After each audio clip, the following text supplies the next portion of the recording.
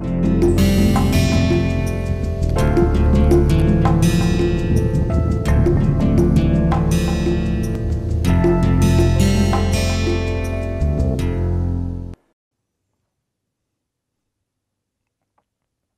friends, welcome to the course Essential of Data Science with R Software 1 in which we are trying to understand the topics of sampling theory and statistical inference. So now you can recall that in the last lecture we initiated a discussion on the random variables and we had considered the concept of random variable and we had tried to associate it with some numerical values and the corresponding probabilities. And we also discussed that uh, that uh, uh, the concepts related to the discrete and continuous random variable.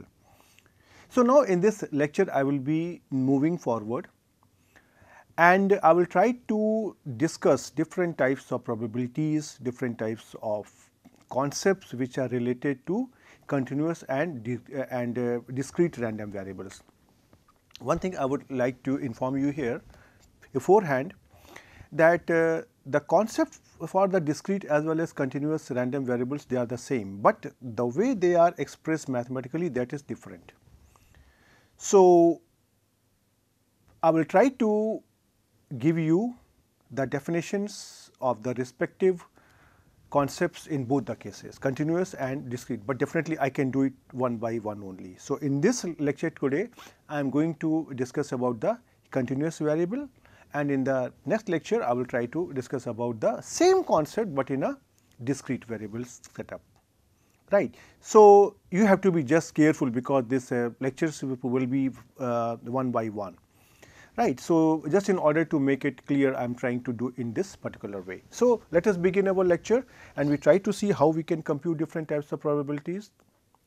Okay, so, now we had discussed in the last slide of the last lecture that it is mandatory for us to know the probability of x belonging to a for all possible A which are the subsets of real numbers R right. And we had also discussed that in case if I try to take this A in the form of an interval like uh, open interval from minus infinity to close interval say with some numerical value x where x belongs to the R then we can write that the probability that random variable x belongs to this subset A as probability that x belongs to minus infinity to x interval and then which is equivalent to probability that uh, capital X is lying between minus infinity and a small x and which can be written as probability capital X is less than or equal to small x right. So, this probability this type of probability if you try to see they are trying to indicate probability of x less than equal to some value right like this. So, this type of probability is helping us in giving us a definition of cumulative distribution function, right. So, now let us try to formally define the cumulative distribution function which is briefly called as CDF. C is coming from cumulative, D is coming from distribution and F is coming from function. So, the cumulative distribution function or more simply the distribution function capital F of the random variable capital X is defined for any real number is small x by capital f x is equal to say probability capital X less than or equal to small x. Right. So, capital F is the standard notation for indicating the cumulative distribution function right. So, this thing can be written as say capital F x is the probability that the random variable capital X takes on a value that is less than or equal to small x. And sometime you will see that it is also written as say capital F and the random variable comes here in the subscript and then inside the parenthesis we write the value small x, but uh, just for the sake of simplicity we will just consider here as say here f x that is just for the sake of simplicity nothing more than that. Right. Now this cumulative distribution function or the CDF has certain mathematical properties. Right. And one thing which will come to your mind is that how this mathematical properties comes into existence You see definitely you are going to compute something. You are going to compute something using some mathematical theories, mathematical functions. How to compute a probability will not be coming from the sky, but we need to develop it and for that we take the help of some mathematical theories, mathematical concept, mathematical functions. So, when we are trying to use those uh, theories, concepts and function, there is some requirement. There are some conditions for the validity of those functions. So, these conditions number 1 come from there. Number 2, whenever you are trying to characterize a phenomena. So, that phenomena or process is beyond our control and we are trying to simply copy that phenomena through a mathematical function. So, the mathematical function has to be defined in such a way and certain conditions should be imposed on this such that it is resembling with the real phenomena. So, that is how these conditions will come and then you will find that in the theory of statistics we try to state many types of condition. People many times do not uh, bother about those conditions, but uh, unless until those conditions are satisfied you will not get the correct answer. For example, if somebody has got a some health problem unless until the person goes to the doctor and explains the problem in the correct way the person cannot be given a proper medicine.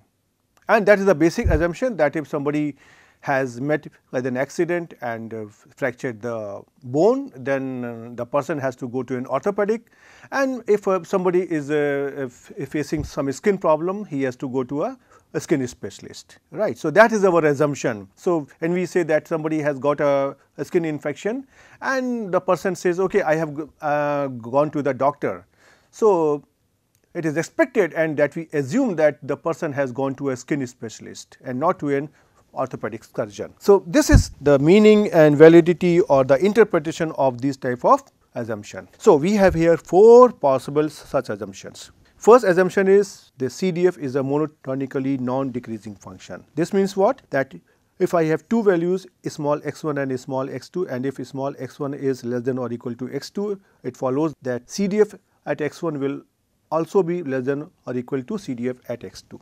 Second condition is limit x tending to minus infinity capital Fx is equal to 0. That is the lower limit of f is 0.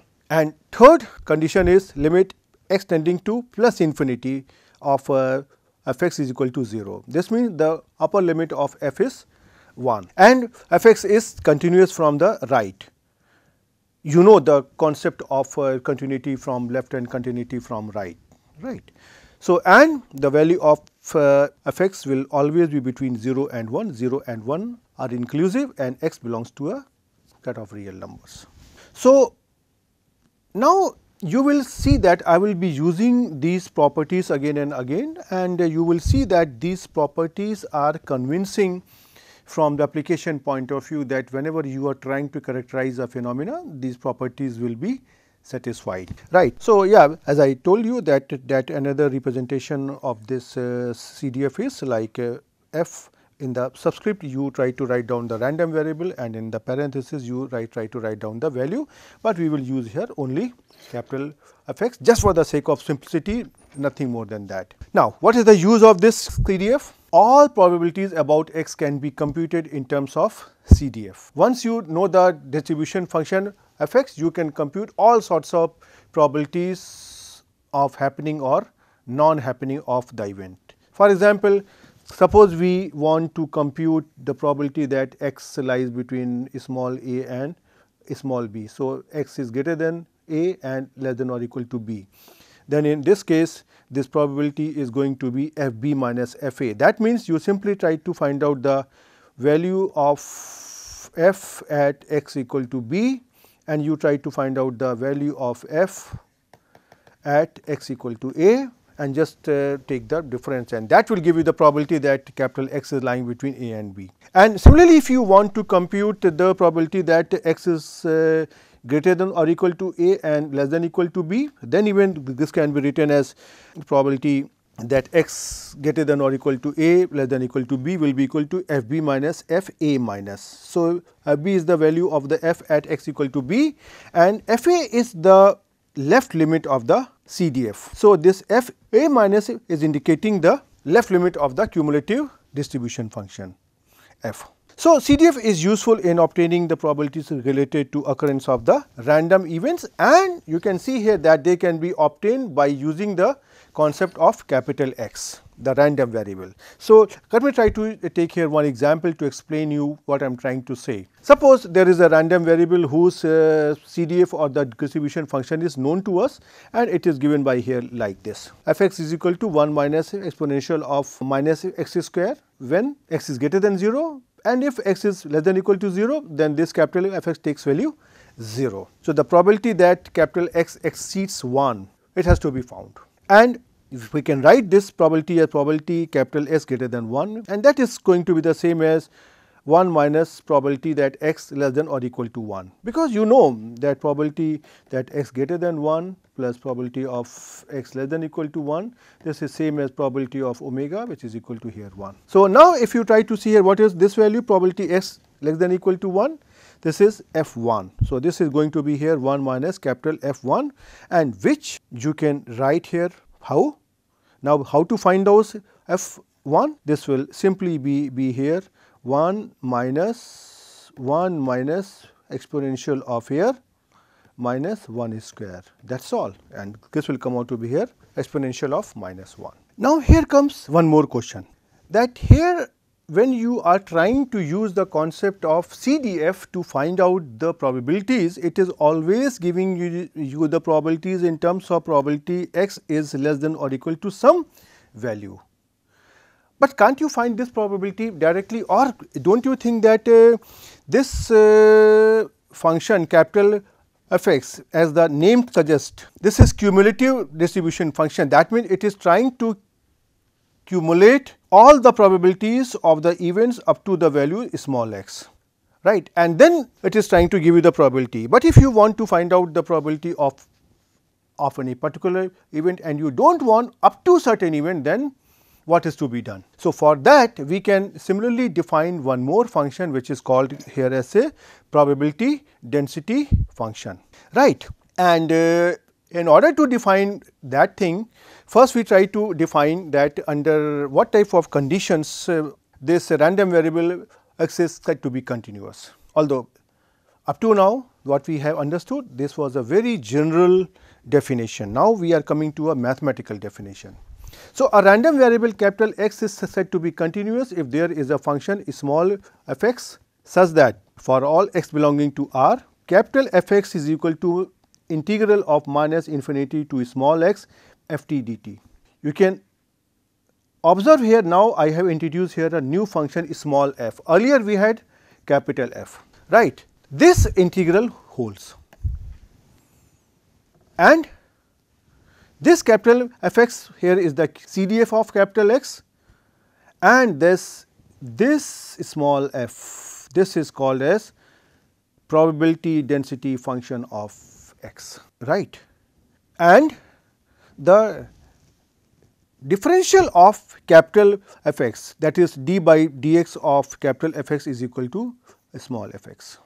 For all x that are continuity point of f means I now believe that you have this much of uh, mathematics knowledge that what is continuity, what are the continuity point etc. Right. So, now I can formally define this probability density function for a continuous random variables. So, for a function small f to be a probability density function of a continuous random variable capital X, it needs to satisfy the following conditions that f of x should be greater than or equal to 0 for all x belonging to R and integral over the entire sample space. So, I am assuming here my sample space is between minus infinity to plus infinity so, integral between minus infinity to plus infinity f x dx should be equal to 1. So, now one thing you have to keep in mind, what is the meaning of integral? Do not you think that uh, you have been taught that integrals are indicating the area under the curve? So, what are you trying to say here? If you try to prepare here a curve or draw here a curve where here it is something like minus infinity to infinity, you are trying to integrate and you are trying to say that the, in, that the area under this curve is only 1. And similarly, if I try to ask you here, suppose if I try to write down here 2 to 3 f x dx, what is this thing? In this curve suppose uh, somewhere here I have here 2 and here I have here 3. So, it is trying to measure this area right. Just keep in mind this is going to be useful. You try to now correlate this integral with the area under the curve right. Okay. So, now I try to make here a connection between the PDF and CDF or a continuous variable here capital X which has got a, a CDF capital Fx. So, if x1 is less than x, x2, x1 and x2 they are some known values. The probability that x is greater than or equal to x1 and less than equal to x2 this is f of x2 minus f of x1 right. How? Means if you try to see here what are these things suppose if I want to make here a small curve and suppose this is point here x1 and this is point here x2. Now, I try to choose here two different types of colors and I try to show you here. So, this point here which I am denoting here in yellow, well I am taking here a light color so that there is no confusion. This yellow color is here from minus infinity to this point it is here x2 suppose and the area between minus infinity to here somewhere here x1 is here like this one. So, now in case if you try to see this uh, yellow area is going to give you here f of x2 and this point here this is going to give you here f of x1 and if you try to subtract it here what are you going to get here? You are getting here this area and this area is simply here the integral of the curve between the point x1 and x2 right. So, I can write down here f of x2 minus f of x1 is equal to x2 minus x1 which is same as integral x1 to x2 f of x dx. And now you can see here this capital F this is your here CDF and this is your here PDF right. Yeah, because for the sake of simplicity and understanding I am assuming here that uh, yeah means f of x2 is equal to here x2. Yeah, because for the sake of easiness to and easiness to understand this concept. Now, in case if I want to find out the probability of a continuous random variable taking a particular value say x0. So, now this will become here probability of x equal to say some numerical value x0 will become integration between x0 to x0 f of x dx. So, that will become here some value here uh, mean something minus here something some value here and both the values are going to be dependent only on x 0. So, this is going to be simply here 0 and if you try to see it from the integration point this x 0 is only here a point and the area of the point is 0 that is the mathematical concept. Right.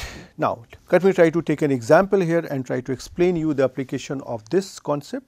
So, suppose we have a probability density function of a continuous random variable f of x which is equal to exponential of minus x if x is greater than or equal to 0 and 0 if x is less than 0. Well, uh, uh, this particular uh, function has got a name.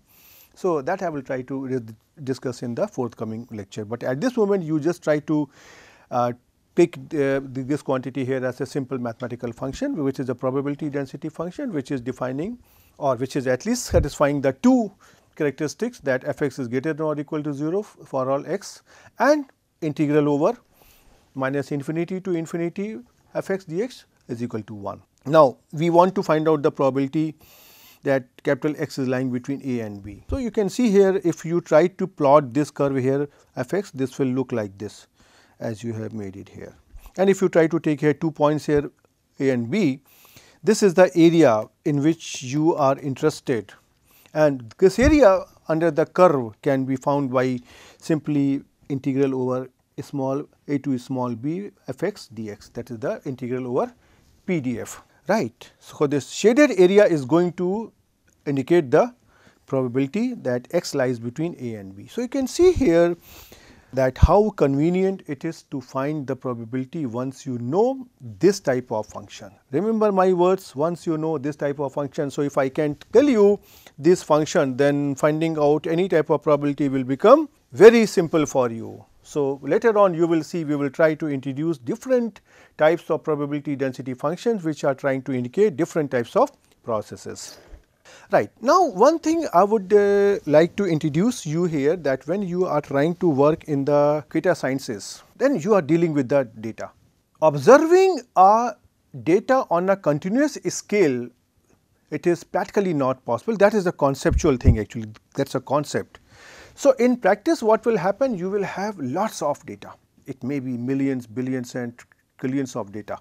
So, my objective here is just to give you an idea that what is this probability density function and how it is obtained. So, we can always create a histogram of all the values that we have obtained. Means I believe that you know how to create the histogram that you have to make frequency intervals and then you have to obtain the frequency and those frequencies are plotted in the middle of the bars. So, suppose this is the histogram that you have obtained. Now, what you try to do here that you try to take the middle points of each of the bar right that you assume that the entire values in this interval of the bar they are concentrated in the middle of the bar. For example, all the values which are here inside this bar we are assuming that they are concentrated in the at the middle of the bar. So, now what you have to do that uh, you have to just uh, put your pen on the histogram and you have to make a smooth curve. A smooth curve means you try to draw it here like this without putting your pen up. That means once you start you have to move smoothly and continuously without giving a break. Well, it sounds very simple, but when you try to do it, yeah, many times you will stop it or something will happen so that you have to break this process. Well, that is a practical problem that uh, we are unable to draw it, but then yeah, I mean conceptually one can always draw it. And I can share you with a very small story that when I was a student usually in the BSc part 1 we are given such type of exercise and whenever I was trying to draw the curve, there was always a break means one and means my pen was getting stopped somewhere and then and then I was very careful in continuing exactly from the same point. But whenever I was going to my teacher, the teacher was always able to find out that Shalabh this is not a continuous curve. You have lifted the pen and I was always confused that how does he or she comes to know but now after becoming the teacher, I can see that once you try to draw the curve without lifting the pen and after lifting the pen, there will be some change which you can observe and this I will try to show you here. So, let us come back to our slide. So, what I have to do here that uh, now I will try to use here a different color pen say red that I have to draw here a curve like this which is passing through with the middle points of this bars. So, if I try to do it here, it will be look like this, like this, like this and you can see somewhere the points are not exactly passing through the point. So, now what I try to do here, I try to use here a different color pen say blue and if I try to make it here and suppose I break a point here. Now, whatever I will do here, I will try to do here this point of break will be visible and that is what my professor was able to find. I was not intelligent enough at that time right. So, now the same thing I have done here I have prepared here this curve here like this you can see here that is a smooth curve which is passing through with most of the middle points right. So, this curve is actually indi indicating the probability density function. So, now I come to the moral of the story. Whenever you are trying to create a histogram, this histogram is going to tell you that uh, what is the relative frequency, right. For example, if I try to say all these points which are lying in this bar here, they are trying to give me the proportion of the points out of the total points which are lying in this bar and these values are going to be something like x 1, x 2, x 3 etc. So, for each interval of the histogram the area of the bar equals the relative frequency or the proportion of the measurements in that interval. Now, you can recall your definition of probability right. So, can you now say that the relative frequency is an estimate of the probability that a measurement falls in the interval. So, now if you do not know any probability density function or any type of function which is governing the probability, you simply have to observe the phenomena, you have to draw the histogram and from histogram you can observe the phenomena, you can compute different types of probabilities directly from there. And those are going to be the relative frequencies. And now these relative frequencies are going to be taken as an estimate of the probability that a measurement falls in that given interval. So, similarly using the same concept I can say here that the area under a PDF over any interval equal to the true probability that a measurement falls in the interval right. So, you can see here how it is interesting and useful for us. Now, I try to show you an example here right. Suppose uh, there is a random variable which is waiting time for the train. That means suppose you uh, reach to a railway station and then you are waiting for the train. Sometimes the train comes in time, sometimes it is early or delayed and so on. Right. But uh, there is a timetable. Suppose the train arrives every 20 minutes, you know. Now, the passenger uh, reaches to the railway station at any given time. So, train will be arriving at a given time, but only after every 20th minute because the person will have to wait. Now, first thing is this you have to decide whether this type of waiting time will be a continuous random variable or a discrete random variable. So, obviously, this is going to be a continuous random variable. Right. So, now in case if you observe the phenomena that since the train is coming after every 20th minute, so at max the person will have to wait 20 minutes that is all. Even if the person has reached the platform when the train has just uh, left or just leaving before the eyes, even then the person uh, has to wait not beyond 20 minutes. So, the waiting time for a particular person is random and can be any time which is contained in the interval close interval 0 to 20. So, now we have to define this process in the form of a mathematical function. So, now the type of information which I have here that I have here a random variable x and which is defined by this uh, say small f x and x is going to take value between 0 and 20 and yeah it will take value suppose it takes value here k some some unknown constant otherwise it takes value 0. Now, how to find out this k? Now, I can use my uh, properties of PDF and can find it out, right. So, first I try to find out the value of k for which this uh, fx is the probability density function. So, I can say here that uh, the range of x is between 0 and 20, this function takes value 1 and beside these interval limits means all the values are 0. So, I can say here that the probability of an event over the range 0 to 20 will always be equal to 1. So, 1 is equal to 0 to 20 integral fx dx and this fx dx it is uh, going to be simply here okay and find out here this value here is given to be here k. So, I can uh, write down here 0 to 20 k dx. So, that is going to be simply here k 0 to 20 and this will become here 20 minus 0 times here k right. So, this will become here 20 k and 20 k. So, this implies that k is going to be 1 upon 20. So, now I can substitute this k and I can obtain this PDF as f x is equal to 1 upon 20 for x lying between 0 to 20 and 0 otherwise.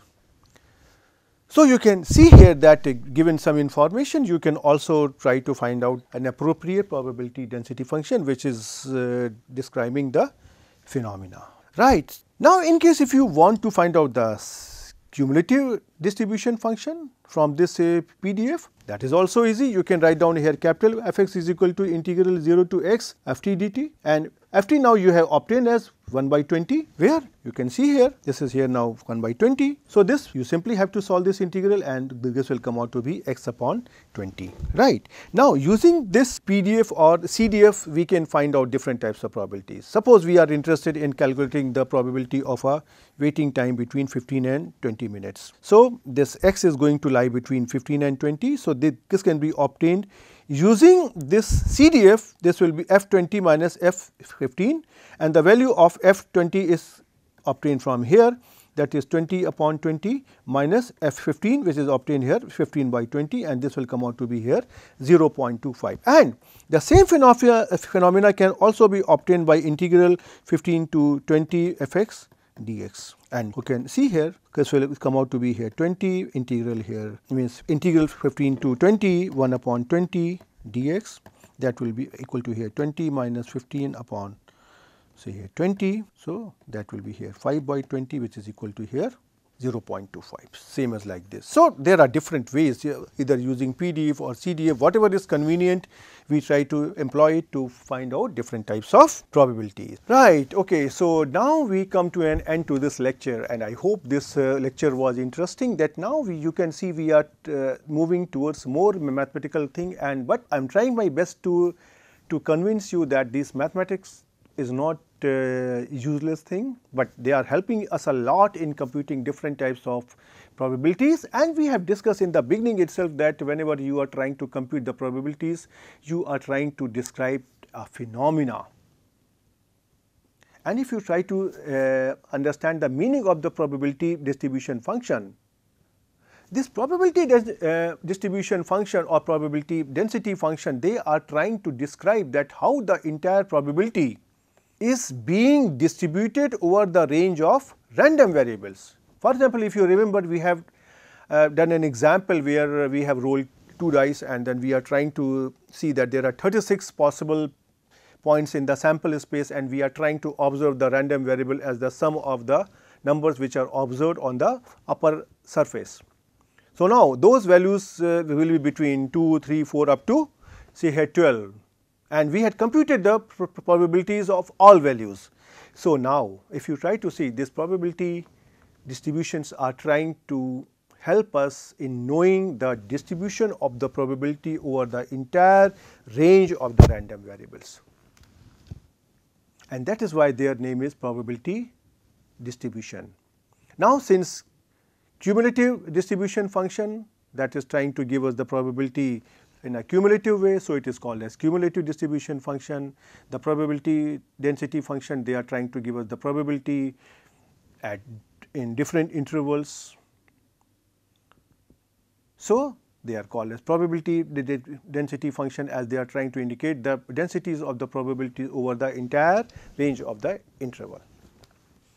So, that is how you have to think. Now, I would request you try to take some example from your book, from your assignment and try to practice them. Try to take different types of uh, uh, say simple function and try to see whether they are probability density function or not.